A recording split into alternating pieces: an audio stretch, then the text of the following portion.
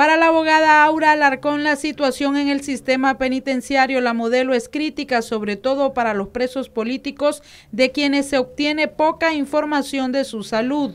En relación a la pandemia que estamos sufriendo hoy, tenemos, vos sabés que a esta altura hay más de 91 presos políticos que se encuentran en cárcel, ¿verdad? La situación es crítica para cada uno de ellos, en virtud que hasta se niega prácticamente el acceso a los familiares, lo más que se les...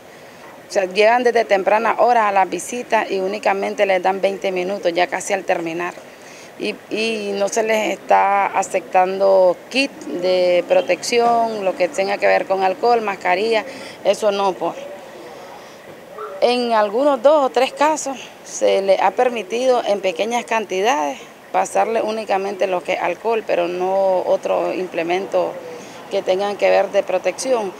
Sí eh, tenemos más o menos contabilizado que hay unos 15 reos que están por las causas políticas que están con sintomatología asociada, que han sufrido desmayo y que pues de esto unos más graves que otros, pero una de las circunstancias es que el sistema penitenciario nacional no brinda ninguna información a los familiares ni a las defensas sobre estos casos. Entonces estamos en un limbo porque se desconoce. Sí, se ha tenido también información que hay reos, no solamente los que están presos políticos, sino presos comunes que presentan síntomas y que han sido ya sacados de, de, la celda y de la parte que ellos le llaman un planta hospital dentro del sistema penitenciario, se desconoce donde los tienen porque ellos no brindan ninguna información a los familiares. La abogada dijo que el excarcelado político Kevin Solís se encuentra en celda de máxima seguridad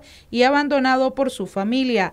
En el caso de Kevin Solís, ¿verdad? Todos manejamos que es un muchacho que activamente eh, ha dicho todo lo que piensa, que ha sido un opositor activo también y, y como todo joven, ¿verdad? Se ha levantado en contra del sistema que nos ha tocado estar viviendo a raíz del 2018 en nuestro país.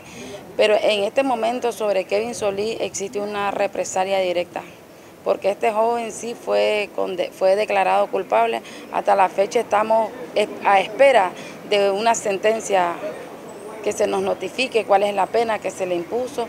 Y pues, pero antes de, de llegar al término del juicio, creo que fue el 17 de abril, él fue trasladado a lo que es una, la galería, la, la 300, lo que conocemos como la 300, y hasta ahora pues no tenemos información de él porque todavía no se nos ha podido dar ninguna entrevista con él ni ninguna visita familiar. Para Noticias 12, Castalia Zapata.